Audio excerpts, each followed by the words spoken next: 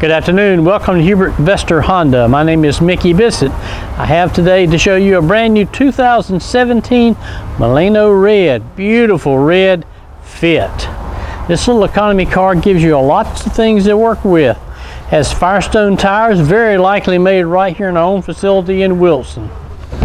This Milano Red comes with a black interior. It has an Econ button, which will stretch your gas mileage all the way up to 40 miles to the gallon on the highway. City driving is 33. It's great gas mileage.